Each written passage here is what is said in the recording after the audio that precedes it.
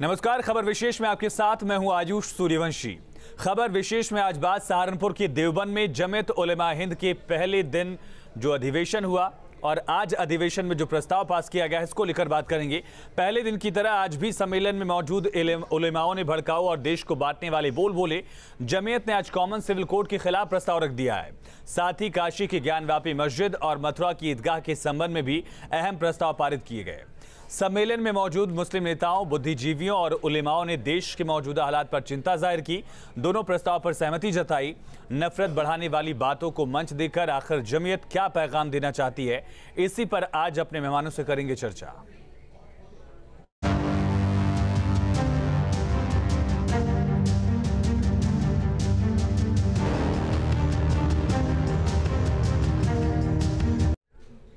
और जमीयत के अधिवेशन से जुड़ी बड़ी खबर देवबंद से है। जमीयत की कॉन्फ्रेंस का आज आखिरी दिन है। ज्ञान, वापी और मथुरा की ईदगाह का प्रस्ताव पारित किया गया है। ये भी कहा गया कि कॉमन सिविल कोड के खिलाफ कोई, दरअसल कॉमन सिविल कोड के खिलाफ भी प्रस्ताव पारित किया गया है। कहा गया कि मजहबी लॉ में कोई बदलाव मंजूर नहीं होगा। शादी, तलाक जैसी चीज़ें मजहबी हिस्सा हैं। इनमें कोई बदलाव बर्दाश्त नहीं किया जाएगा। मुल्क के हर शहरी को आज़ादी का हक हासिल है, ये कहा गया है। अगर सरकार ऐसा करती है तो विरोध को मजबूर होंगे। ये जमीयत उलमा हिंद के अधिवेशन में प्रस्ताव पास किया गया। तो देवबंद में जमीयत उलमा हिंद के अधिवेशन में ज्ञानव्यापी मस्जिद से लेकर कॉमन सिविल कोड को लेकर प्रस्ताव पारित किया गया है। रिपोर्ट देखिए। देवबंद में जमीयत उलेमाए हिंद के राष्ट्रीय सम्मेलन के आखिरी दिन कॉमन सिविल कोड पर प्रस्ताव रखा गया। जमीयत के मंच से कहा गया कि मुस्लिम पर्सनल लॉ को खत्म करने के लिए सरकार कॉमन सिविल कोड लाना चाहती है, जो बर्दाश्त नहीं होगा। अगर ऐसा हुआ तो हर तरह के विरोध को मजबूर होंगे। उधर मौलाना मसूद मदनी ने कहा कि कोई भी कानून मुसलमानों का रास्ता नहीं रोक सकता। यूनिफॉर्म सिविल कोड की तजवीज से मुताबिक ये कहना चाहता हूँ, कानून कोई बन जाए। अगर मुसलमान शरीयत पर चलने का अज़म कर ले कोई कानून उसका रास्ता नहीं रोक सकता। अगर हम अपने अंदर इस्लाम को समो लेंगे, इस्लाम पर अमल करने का आज़म कर लेंगे तो फिर इस्लाम को क्या फिर कौन इस्लाम का कुछ बिगाड़ सके? तो असल लड़ाई तो हमारे साथ है, हमारी, हमारे साथ है।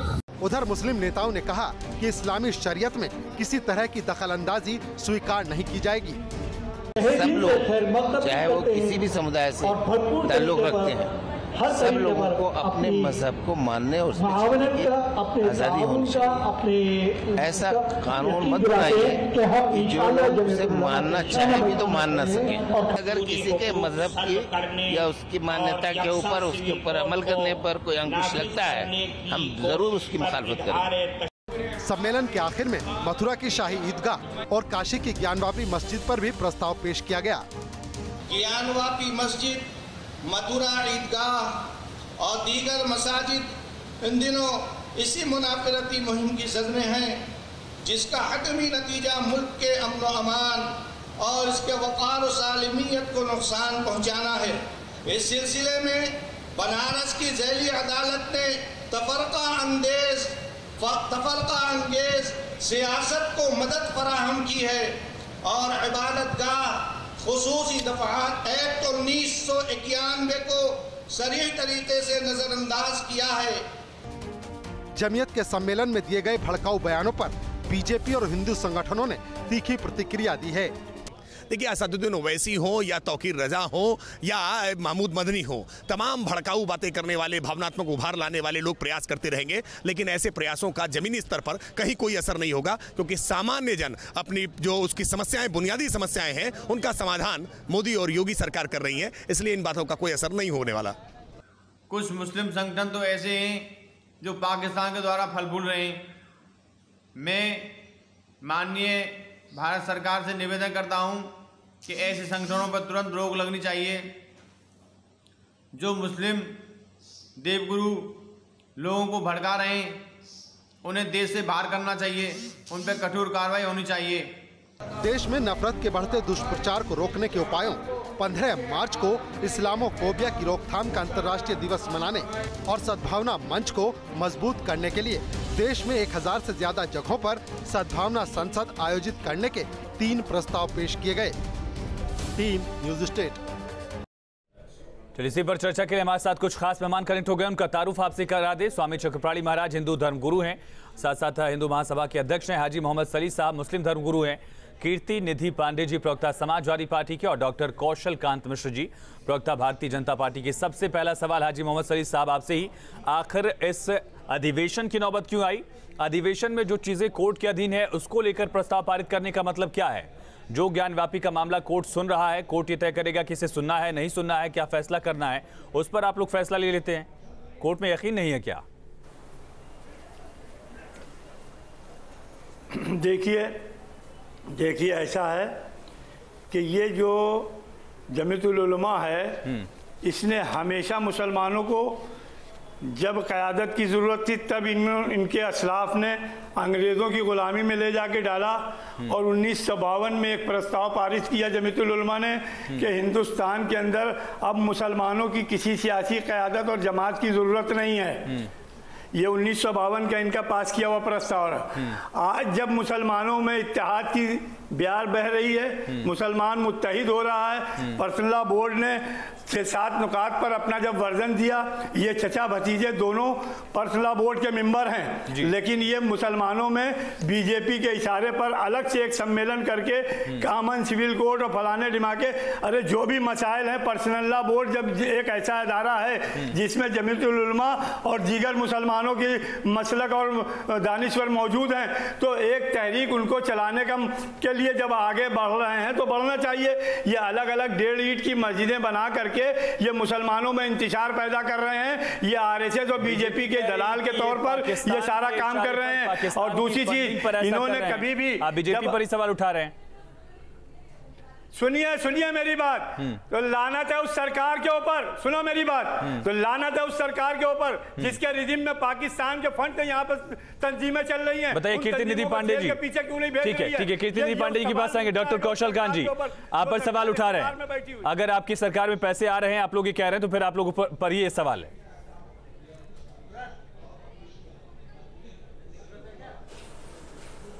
आठ साल हो गए आपने जब तक प्रूफ नहीं है कोई फंड अगर आता है तो हम उसको बैन नहीं कर सकते। लेकिन अगर किसी पर्टिकुलर ऑर्गेनाइजेशन के बहुत सारे लोग किसी एंटी नेशनल एक्टिविटी में इन्वॉल्व हैं एंटी सोशल एक्टिविटी में इन्वॉल्व हैं तो उनके ऊपर कार्रवाई की जाएगी। जब तक कि पूरी तरीके से 100 परसेंट नहीं हो जाएगा कि ऑर्गेनाइजेशन पूरी तरह से इन्वॉल्व है तब तक उन पे कानूनी तौर पे बैन लगाना अपने कॉन्स्टिट्यूशन के खिलाफ है। तो ये जितनी भी ऑर्गेनाइजेशन हैं जहाँ से भी फंड आ रहा है। आपने देखा मोदी गवर्नमेंट के बाद कितने सारे फंड्स बंद किए गए। उसके बाद भी ये लोग नए नए रास्ते से फंड के नए नए रास्ते खोजते रहते हैं और अगर कहीं से भी फंड ऐसा आ रहा है जो टेररिज्म में यूज़ हो रहा है तो वो सारी चीज़ों को बंद किया जाएगा। अब इन्होंने ये कहा कि ये आप इनका जमायत उलेमा का मतलब क्या होता है? काउंसिल फॉर मुस्लिम थियोलॉजी मतलब कि ये केवल मुसलमानों के लिए और वो तो कह रहे हैं कि आप लोगों के इशारे पर हो रहा है इस सब। जिस कॉमन सिविल कोड का ज़िक्र किया गया वो आप लोग चाहते हैं ज़िक्र हो इसी वजह से ज़िक्र हो रहा है। देखिए दो तरीके की चीज़ें हैं। मुसलमानों में भी इस्लाम में भी पाँच तंजीमें हैं। और पाँच तंजीमों में हर तंजीम अलग अलग तरह से सोचती है। जो मॉडरेट तंजीम है जो सॉफ्ट तंजीम है वो चाहती है कि मुसलमानों का डेवलपमेंट हो नई नई चीज़ें अडॉप्ट हो और नया नया चेंजेस आए जो फ्यूचर के अकॉर्डिंग अभी के अकॉर्डिंग ठीक हो। लेकिन जो उसमें ज़्यादा हार्ड लाइनर है वो ये नहीं चाहते हैं कि उसमें कोई चेंज आए। यही इनका डिस्प्यूट है। आप ये देखिए ना ये ट्रिपल तलाक के साथ आए ना इन्होंने जब साहबानों का केस हुआ था तो भी इन्होंने यही बात की थी। आप ये देखिए ये चाहते हैं कि शरीयत के लॉ के ठीक है हिसाब से ठीक है ठीक है। सली साहब मैं तो अब मैं आपके पास नहीं वापस लौट रहा हूँ। ठीक है ठीक है। सली साहब क्या ये जो प्रस्ताव पास किए गए हैं आप इससे इत्तेफाक नहीं रखते हैं एक मुस्लिम धर्म गुरु होने के नाते? क्या आप इससे इतफाक नहीं रखते हैं कि कॉमन सिविल कोड का विरोध अगर जमीयत करता है तो आप इसका विरोध नहीं करेंगे? मैं ज्ञानव्यापी पर जो प्रस्ताव पास किया गया उसका आप विरोध करते हैं? हाँ। मैं इनकी किसी बताएँ बताएँ। देखिए ये इन्होंने अपने मदारसे जो इनके हिंदुस्तान भर में मदरसे हैं जो हिंदुस्तान भर में इनके मदरसे हैं उनके तलबा उनके इस को बुला करके एक मजमा जमा किया। ये हिंदुस्तान के मुसलमानों के नुमाइंदे नहीं हैं ये जमतुलमा ये मजहबी माफिया हैं। ये मुसलमानों के मज़हब के नाम पर दीन के नाम पर नहीं आप जमीयत पर सवाल तो उठा रहे हैं। सली साहब आप जमीयत पर सवाल तो उठा रहे हैं। लेकिन जमीयत ने जो प्रस्ताव पास किया है उसका विरोध करते हैं आज साथ खड़े ये भी बताइए ना। जमीयत पर सवाल उठा रहा हूँ मैं। प्रस्ताव पर बताइए प्रस्ताव से इतफाक रखते हैं या विरोध करते हैं? अरे जमीयत की मैं जमीयत का विरोध कर रहा हूँ उनके प्रस्ताव की कहाँ तक तायद करूँगा? मैं जमीयत मैं जमीयत का विरोध कर रहा हूँ उनके किसी प्रस्ताव की तायद का कोई सवाल ही नहीं होता। ठीक है ठीक है ठीक है ठीक है लौटेंगे ठीक है। स्वामी चक्रपाणी महाराज संस्था मुसलमान जिस तरह से मामला कोर्ट में चल रहा है ज्ञानवापी का लेकिन पैरेलल एक अधिवेशन बुलाया जाता है तथा कथित वहाँ पर नफरत फैलाने की कोशिश की जाती है। कहा जाता है कि ज्ञान व्यापी और तमाम मस्जिदों को लेकर प्रस्ताव पास किया गया। ये कहा जाता है कि अगर मज़हब से दखल देने की कोशिश की गई। शादी, तलाक ऐसी चीज़ों में हम दखल बर्दाश्त नहीं करेंगे। सिविल कोड को बर्दाश्त नहीं करेंगे। किस तरह से इसे देखा जाए? ये बहुत दुर्भाग्यपूर्ण है। जब उन्होंने कल मौलाना मदनी साहब ने घड़ियालू आँसू बहाया तो ही पता चल गया कि देखो, ये कहीं ना कहीं उकसावे की राजनीति कर रहे हैं और ये कहीं ना कहीं एक समाज को उकसाने का काम कर रहे हैं। और ये एक विभाजन विभाजनकारी एक राजनीति कर रहे हैं कहीं ना कहीं और इनके पीछे राजनीतिक इनका एजेंडा है जो बड़ा ही दुर्भाग्यपूर्ण है और इन पे अंकुश लगाने की आवश्यकता है। हम्म। ये लोग शुरू से ही देश विरोधी हमेशा वहाँ से फतवे भी जारी होते रहे। देश के खिलाफ कभी आ, हमेशा ये खड़े रहे देश के खिलाफ खड़े रहे हैं। तो इसलिए इनसे आशा नहीं की जा सकती है।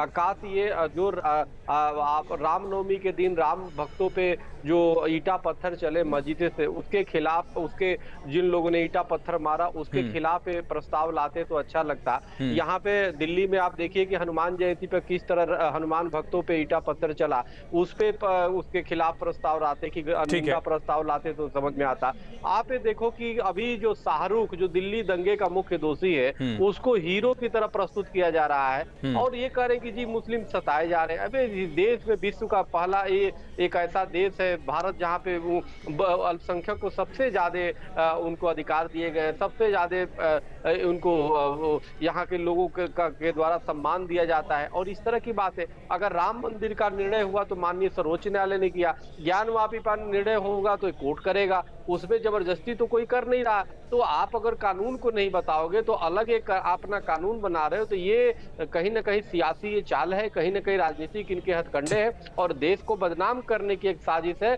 और ये कहीं ना कहीं पाकिस्तान की और इनकी लिंक अगर जोड़ देखा जाए हम्म। तो निश्चित रूप से कहीं ना कहीं मिलेगी इसलिए सबकी जाँच की आवश्यकता है और जो भी इन पे इसके बाद कार्रवाई करने की आवश्यकता ठीक है। कीर्ति निधि पांडे जी किस तरह से इन प्रस्ताव को देखते हैं? सिविल कोड को स्वीकार नहीं किया जाएगा तलाक शादी शरीयत के मुताबिक ही करेंगे। जो बातें आज प्रस्ताव में पारित की गई हैं जमीयत की तरफ़ से उसे किस तरह से देख रहे हैं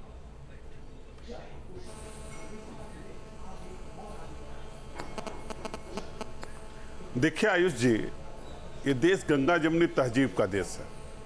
और इस देश में बहुसंख्यक समाज को अल्पसंख्यक समाज के बड़े भाई की भूमिका में हमेशा खड़े रहना चाहिए। हम्म। लेकिन जिस तरीके से मामले कोर्ट में है उसके खिलाफ अगर कोई प्रस्ताव कोई भी संस्थान पारित करता है तो ये ज़रूर देखना होगा कि वो किस तरीके का विरोध करने की बात कर रहे हैं। अदालत में विरोध करने की बात कर रहे हैं कि सड़कों पर विरोध की बात करें? अगर अदालत में मजबूती से अपना पक्ष रखने की बात कर रहे हैं तो न्यायोचित है। लेकिन अगर सड़क पे विरोध की बात हो रही है तो ये अनुचित है। और जहाँ तक हमें जानकारी है उस धार्मिक सम्मेलन में जो प्रस्ताव पास हुआ है वो प्रस्ताव ज़रूर पास किए लेकिन विरोध का तरीका क्या होगा? विरोध कैसे करेंगे? इस तरीके का कोई फैसला उस सम्मेलन में नहीं लिया गया है। और जो लोग भी नफरत की पॉलिटिक्स कर रहे हैं देश के अंदर चाहे वो मदनी साहब का बयान हो हम्म। या चाहे किसी अन्य नेताओं का बयान हो। हम्म। जो नूरा कुश्ती चल रहा है मौलाना साहब जो बैठे हमारे साथ उनके इस बात से मैं सहमत हूँ कि अगर इसकी पूरी भूमिका की जाँच होगी तो कहीं कहीं भारतीय जनता पार्टी इस तरीके के आयोजनों में इस तरीके के सम्मेलनों में खड़ी मिलेगी। क्योंकि वो दोनों नफरत की पॉलिटिक्स करने की बात कर रहे हैं और नफरत की पॉलिटिक्स किसी भी दशा में देश के लिए उचित नहीं। केतरी जी सवाल ये है कि कॉमन सिविल कोड को लेकर स्टैंड आपका क्या है? भले सली साहब जमीयत की बातों से इतफाक न रखते हो लेकिन जैसे कॉमन सिविल कोड का मुद्दा आएगा विरोध करेंगे जायज़ सी बात है। लेकिन आप लोग बचेंगे ये भी हमने देखा है। क्यों इसका विरोध किया जाए? सिर्फ़ धार्मिक लिहाज से इसका विरोध करना ज़रूरी है क्या? डॉक्टर कौशल खान जी आपके पास आएँगे एक, एक जवाब कीर्ति निधि जी का। हम्म। कीर्ति देखिए- जी। देखिए Ayush ji common civil code के मामले में भी अभी उसका कोई ड्राफ्ट तो तैयार हो। उसका ड्राफ्ट तैयार हो पार्लियामेंट के अंदर उस ड्राफ्ट को रखा जाए फिर उसमें कहाँ नुकसान है कहाँ कोई कमी है उसको बताया जाएगा। उस हिसाब से उस पर चर्चा पर चर्चा होगी। अभी तो कॉमन सिविल कोड है नहीं कहीं। अभी तो सिर्फ़ हवा में बातें हो रही हैं। हवा में उस पर चर्चा हो रही। ठीक है। और ये भारतीय जनता पार्टी चाहती इस तरीके की चर्चाएँ होती रहें। डॉक्टर कौशल खान जी आप लोग चाहते हैं इसी तरह से माहौल बिगड़े? तो पार्लियामेंट के नफरत की पॉलिटिक्स का जो आरोप लगा रहा है जमीयत पर वही आरोप आप लोगों पर भी लग रहा है। सिमिलरिटी दिखाने की कोशिश की जा रही है।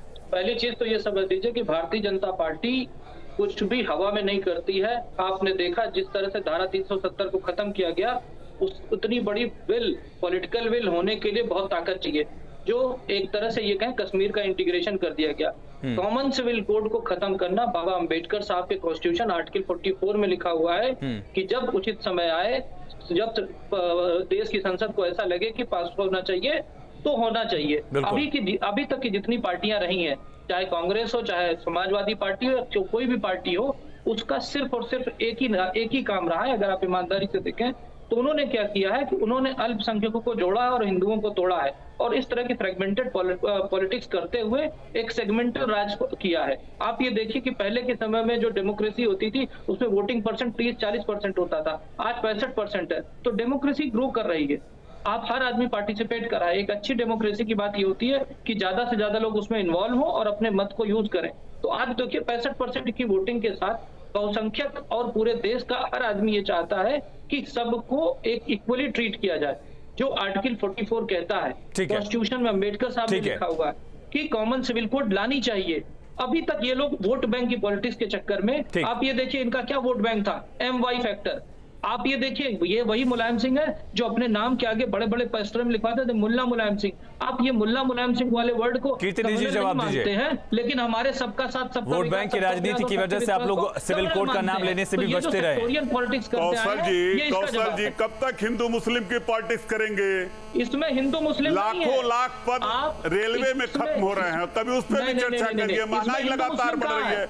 बेरोजगारी बढ़ रही है भूखमरी में देश अभी अव्वल हो तक- रहा है अभी तक की अभी आपकी उपलब्धियाँ हैं। राजनीतिक दल कभी रचनात्मक मुस्लिम बहस कब रहे? हैं अभी ये पार्टी आई है जो तक इन मुद्दों पे सबका उलझाए सबका प्रयास और सबके विश्वास की बात कर रही है राम जन्मभूमि कर मस्जिद रही का मुद्दा निपटा तो ज्ञान रही है। वापी। कॉमन सिविल ज्ञान का डेवलपमेंट करना लगातार इस तरीके के मुद्दों पे कब तक राजनीति जी क्या कॉमन सिविल कोड पर बोलने से बच रही है समाजवादी पार्टी जिस तरह से हमने देखा उत्तराखंड में अगर बात कर ही नहीं सकते। कीर्ति निधि जी उत्तराखंड में जिस तरह से हमने देखा कमेटी गठित कर दी गई है उसी तरह से अगर उत्तर प्रदेश में होता है क्या आप इस फैसले का स्वागत करेंगे? अगर बीजेपी इस तरह का ऐलान करती है या फिर बचने की कोशिश होगी? बहुत संक्षेप में फिर मैं सली साहब के पास जाऊँगा।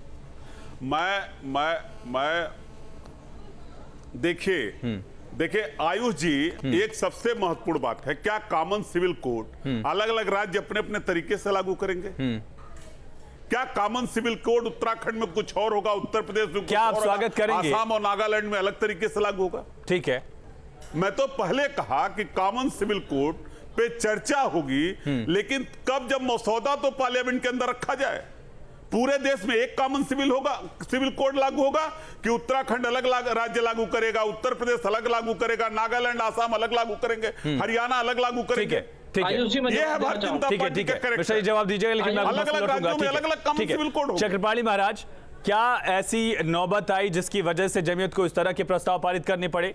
क्या देश कॉमन सिविल की कोड की तरफ़ बढ़ रहा है? क्या ऐसी ज़रूरत अब देश में आन पड़ी है? नहीं ज़रूरत तो है ही है। आज़ादी के बाद कहीं ना कहीं जो सरकारें बनी फिर पर। तुष्टिकरण की राजनीति किया और हिंदुओं पे अन्याय किया और और कहीं न कहीं सबको अलग अलग अपने अपने कानून से चलने का जो दे दिया तो ये गलत बात है। सब ये देश सबका है तो एक, एक देश में एक ही तरह के कानून होने चाहिए जो सब पे लागू हो। ऐसा नहीं कि कोई इस्लामिक कानून से चले और कोई अपना हम अलग बना ले तो ये बात ठीक नहीं है। अभी तो सिर्फ़ एक बे ज़बरदस्ती कानून के अ, साहब कॉमन सिविल कोड के विरोध में जमीयत खड़ा है। आपने कहा मैं जमीयत का विरोध करता हूँ। यानी कि आप सिविल कोर्ट के पक्ष में खड़े हैं। मान लिया जाए। देखिए देखिए मेरी मेरी मेरी एक बात चक्रमणि पांडे जी से है कि ये बताएँ वर्तमान में इस देश के अंदर संविधान ने कौन सी धार्मिक स्वतंत्रता दी है और उससे देश को या देश में बसने वाले किसी संप्रदाय को क्या लाभ और हानि है? जरा इस पर रोशनी डालें। जो आज कॉमन सिविल कोड की जो आप बात कर रहे हो हम्म। उसका कोई मसौदा आपने नहीं तैयार किया। आर्टिकल 44 में उसका ज़िक्र कॉमन सिविल कोड पर बहस करके देश में सांप्रदायिक सौहार्द निकालने का काम कर रहे हैं। वो लगातार इस बात की पैरवी करते रहे। बी आर अंबेडकर चाहते थे दिल्ली हाईकोर्ट ने पिछले साल बाबा भीमराव अंबेडकर ने जो कहा है हाँ, मैं हाँ, मैं देखिए मैं बाबा मैं संविधान का विरोधी नहीं हूँ। हाँ, अरे मैं आपसे ये पूछना चाहता हूँ एंकर महोदय जरा मुझे ये बताइए कि भारत में धार्मिक स्वतंत्रता कितनी है और उससे क्या लाभ और हानि है देश को? 44 पढ़ लिया साहब आपने। आर्टिकल 44 पढ़ा? नहीं क्यों? आप जरा मुझे बताइए या आपके वो बीजेपी के प्रवक्ता बताएँ या ये धर्मगुरु बताएँ कि भारत में धार्मिक स्वतंत्रता संविधान में कितनी है? साहब सुनिए ना क्यों? आर्टिकल 44 में सिविल कोड का ज़िक्र हाँ। अगर किया गया है हाँ। उससे आप सहमत है या नहीं सहमत है? बस इतना बताइए। हाँ, हाँ या ना? आर्टिकल 25 भी तो लीजिए जो बुनियादी है। चक्रपाली महाराज बताइए धार्मिक तो आज़ादी मिलनी चाहिए धार्मिक आज़ादी का ज़िक्र किया जा रहा है। अगर स्टेट ये चक्रपाली महाराज चक्रपाली महाराज बताइए। अगर देश ये समझता तो उसके लिए पार्लियामेंट बनाएँगे या स्टेट नहीं कॉमन सिविल कोड इसलिए लागू कर होना चाहिए। आप देखो कि अभी ये अपने चार चार हाँ। शादियाँ कर लेते हैं। हाँ। चार चार विवाह कर लेते हैं ये हम्म। और जब इच्छा हो तलाक दे देते हैं। हिंदू एक से दूसरा करेगा तो जेल जाएगा। सवाल एक कई चीज़ों में विषमता है। देश में एक सीमित संसाधन है। उस संसाधन का सबको बराबर अधिकार है चक्रपाणी महाराज अब अब तक हाजी मोहम्मद सईद साहब विरोध कर रहे थे जमीयत का लेकिन जमीयत वाली लाइन पे तो आई गए। सली साहब। देखिए ऐसा है मैं आपको बता रहा हूँ चोर चोर मौसियाउत भाई सब एक ही है। फल ये इनके आपस में आपस में व्यक्तिगत क्या मुझे ये बताइए ये ये वर्तमान में जो धार्मिक स्वतंत्रता है वो कितनी है ठीक है डॉक्टर कौशल गांधी जी डॉक्टर कौशल गांधी। जी सनातन धर्म धार्मिक आज़ादी महाराज एक हो जाते हैं अनेक हो जाते नहीं मैं कह रहा हूँ भारत में वर्तमान में कि एक प्रधान एक निधान आप अपनी बात मत कराइए वरना मैं चाह रहा हूँ। चलना चाहिए पूरे देश सली साहब सुनिए सली साहब सुनिए सली साहब सुनिए सली साहब सुन लीजिए सली साहब सली साहब सुन लीजिए सली साहब सुन लीजिए सली साहब सुन लीजिए सली साहब सुनिए। आपके सवाल का ही जवाब दे रहे सुनिए तो।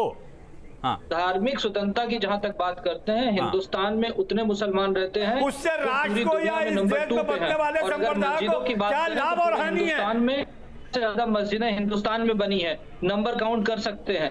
अगर ये इतनी धार्मिक स्वतंत्रता के बाद अब्बा जी को ये नहीं लग रहा है चचा जान को ये नहीं समझ में आ रहा तो इससे ज़्यादा धार्मिक स्वतंत्रता कहीं नहीं मिलेगी। आप ये देखिए धार्मिक स्वतंत्रता की बात करते हैं धार्मिक स्वतंत्रता की बात करते हैं। राम नवमी के आप हमें ये बताइए कि भारत में धार्मिक स्वतंत्रता कितनी है? उससे बैन लगवाते हैं। एक तरफ़ तो इतना ज़्यादा तुष्टिकरण हो रहा है दूसरी बात कॉमन सिविल कोड की बात आ रही जहाँ पर सभी को एक तरह से तोला जाएगा और हम हमेशा हमेशा से कहते आए हैं एक प्रधान एक निशान और एक विधान वाला राष्ट्र है। भारतवर्ष हमें उसको स्थापित करना और ये कॉन्स्टिट्यूशन का मैंडेट है। और हम इसको वो, वो आप, करके रखेंगे। चलिए ठीक है बहुत शुक्रिया आप सभी खास मेहमानों का जुड़ने के लिए चर्चा में शामिल होने के लिए। तो एक तरफ़ जमीयत की तरफ़ से उस ज्ञानव्यापी को लेकर प्रस्ताव पारित किया गया जो ज्ञानव्यापी का मैटर ऑलरेडी कोर्ट में है जिस पर कोर्ट सुनवाई कर रहा है उस पर प्रस्ताव पारित कर दिया जाता है। ज्ञानव्यापी के अलावा कॉमन सिविल कोड को लेकर प्रस्ताव पारित किया गया। वो कॉमन सिविल कोड जिसका ज़िक्र आर्टिकल 44 में है जिसकी पैरवी बाबा भीमराव अंबेडकर करते रहे जिसको लेकर कोर्ट ने भी आदेश दिया था सरकार को कि सरकार कॉमन सिविल कोड लेकर आए पिछले साल दिल्ली हाईकोर्ट का जजमेंट था ये, ऑब्जर्वेशन था। खबरें लगातार जारी हैं, यहाँ पर एक छोटे से ब्रेक लुकते हैं, बने रहिए न्यूज़ स्टेट के साथ।